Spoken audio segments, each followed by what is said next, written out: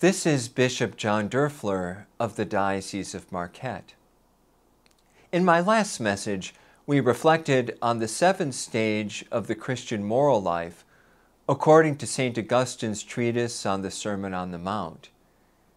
In the seventh stage, we became peacemakers, at peace within ourselves through the Holy Spirit's gift of wisdom. We have been reflecting on how St. Augustine relates the gifts of the Holy Spirit and the Beatitudes in successive stages of growth in the Christian moral life. Let us take a summary look at our journey.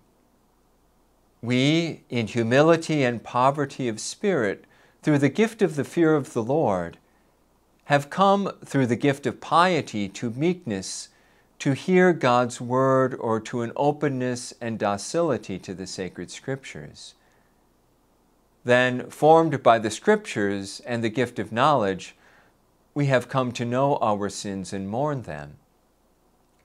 Then, having mourned our sins through the gift of fortitude, we hunger and thirst for what is right. Then, by being merciful to the weakness of others, we have opened our hearts to the working of the gift of counsel, that we may know even more God's will in our lives. Then all of this has given us purity of heart, and we perceive more deeply the mysteries of our faith through the gift of understanding. And all of this brings us to a deep interior peace. Thus, through the gift of wisdom, we have become peacemakers within ourselves. Yet something is still missing.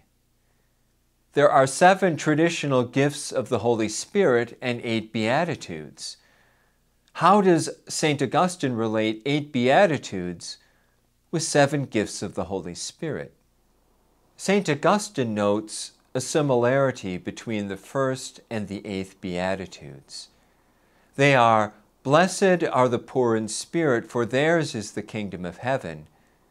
And blessed are they who are persecuted for the sake of righteousness, for theirs is the kingdom of heaven. Both Beatitudes end with receiving the kingdom of heaven. So, in a way, the eighth Beatitude goes back to the beginning and sums up all of them and brings us to maturity. As we have grown to maturity in the Christian moral life, we now have the strength to bear persecution, and we realize that nothing can separate us from the love of Christ. St. Paul speaks of this in the letter to the Romans. What then shall we say to this? If God is for us, who can be against us? He who did not spare his own Son, but handed him over for us all, how will he not also give us everything else along with him? Who will bring a charge against God's chosen ones? It is God who acquits us. Who will condemn? It is Christ Jesus who died, rather was raised who also is at the right hand of God, who indeed intercedes for us. What will separate us from the love of Christ? Will anguish or distress or persecution or famine or nakedness or peril or the sword? No, in all these things we conquer overwhelmingly through Him who loved us. For I am convinced that neither death nor life, nor angels nor principalities, nor present things nor future things, nor powers, nor height, nor depth, nor any other creature will be able to separate us from the love of God in Christ Jesus our Lord. End of quote.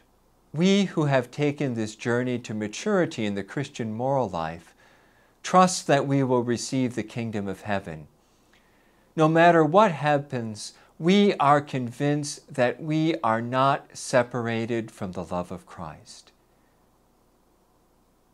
This is Bishop John Doerfler of the Diocese of Marquette.